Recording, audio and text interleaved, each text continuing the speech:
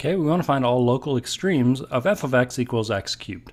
Now you may be comfortable with the x cubed graph already, um, but let's one, run through the um, process on this. So the first thing you'd want to do is go ahead and take the derivative. So power rule, take our derivative, and then the next thing we'd like to do is figure out when do we have any critical values.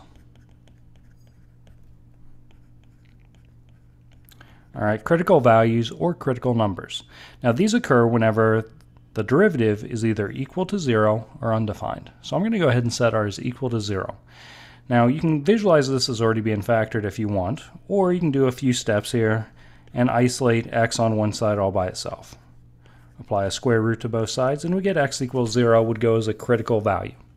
All right, next you'd want to think about critical numbers. I'm sorry, critical points.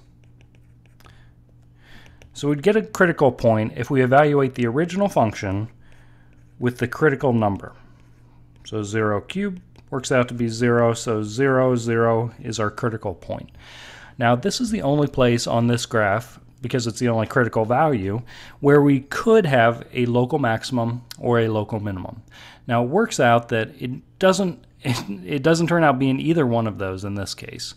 As you'll recall, that's what our graph of x cubed looks like, an odd power function.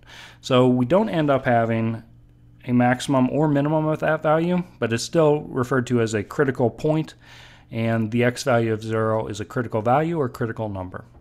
Um, we will shortly learn some rules about finding if a critical value is going to be where we get a maximum or a minimum, but that'll be shortly.